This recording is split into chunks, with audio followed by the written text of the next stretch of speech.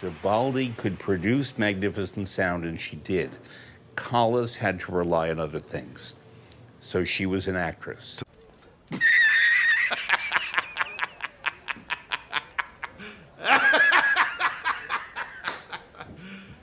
You serious?